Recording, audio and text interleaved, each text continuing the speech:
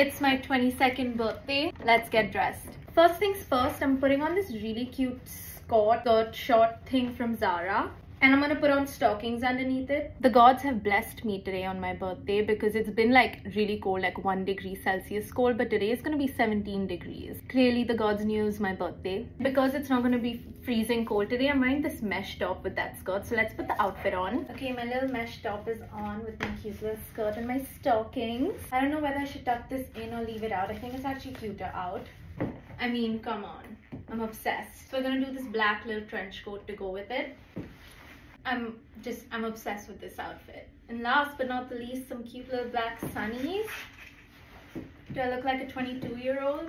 Okay, I did my makeup and I put on some jewelry from Athena, of course, my brand. But this is the final birthday outfit. And yeah, now I'm gonna go celebrate my birthday. So see you next time.